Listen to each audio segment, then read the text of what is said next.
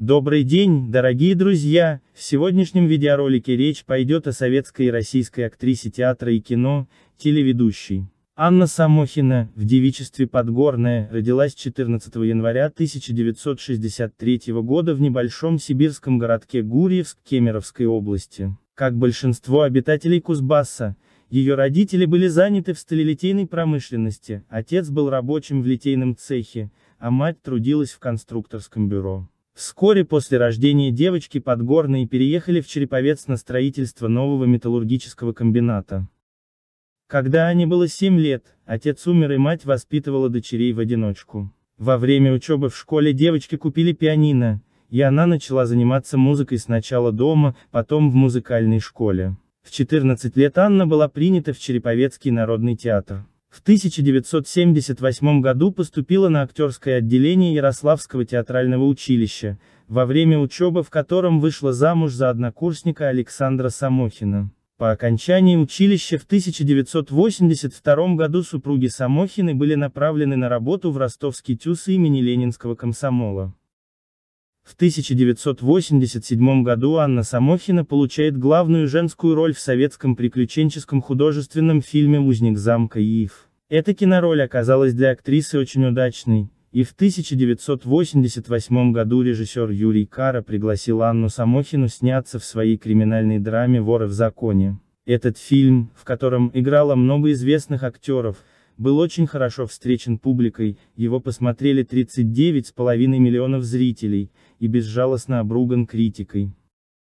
В 1989 году Анну Самохину приняли в труппу театра имени Ленинского комсомола в Ленинграде. Среди киноработ актрисы можно выделить роли в костюмной ленте Дон Сезар де Базан, в исторической драме «Царская охота», в которой она сыграла княжну Тараканову. Классическая красота актрисы особенно хорошо смотрелась в пышном антураже костюмных фильмов, и режиссеры это активно использовали.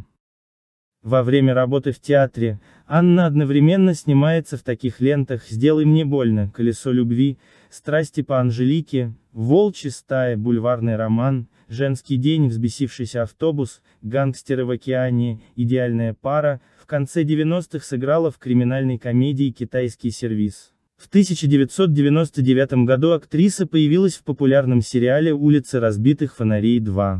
Новые приключения ментов – где сыграла роль директора торговой фирмы «Вектор». В 2001 году на экраны страны вышел сериал «Черный ворон», в котором Анна Самохина сыграла потомственную колдунью. Анна также подрабатывала конферансом, ее можно было увидеть и ведущей концертов ко Дню военно-морского флота, и на День города, День строителя, и на частных вечеринках. В 2003 году на экраны вышли новые сезоны сериала «Бандитский Петербург», где Самохина вместо Ольги Дроздовой доигрывала роль Екатерины. Ее последней работой в кино была комедия «Гена Бетон».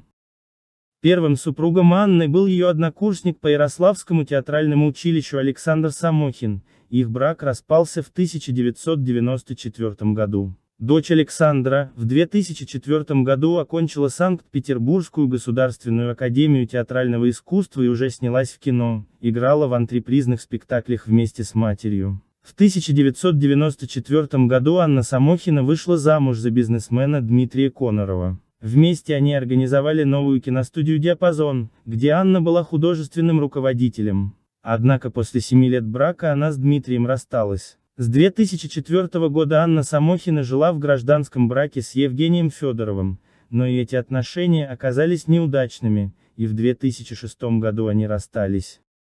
Последние годы актриса много и успешно работала в кино и на театральной сцене Санкт-Петербургского театра «Русская антреприза» имени Андрея Миронова, Санкт-Петербургском антрепризном театре комедий. В феврале 2010 года Анна должна была вместе со своим партнером по сцене Дмитрием Харатьяном начать репетировать в антрепризном спектакле, но вместо этого ей пришлось срочно заняться своим здоровьем.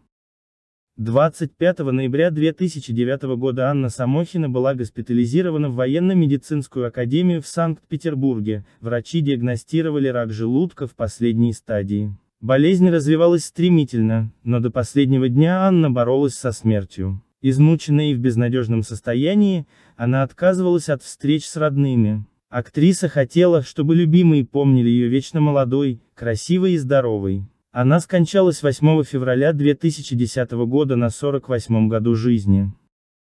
Анна Самохина, российская актриса, певица и телеведущая, женщина удивительной красоты и непростой судьбы. Ее звезда взошла в кинематографе в тот сложный период, когда в индустрии рушились старые шаблоны и казалось уже нет ничего невозможного или недозволенного, чего нельзя было бы показать на экране. Запоминающиеся внешность и обаяние сделали артистку секс-символом перестроечного кино.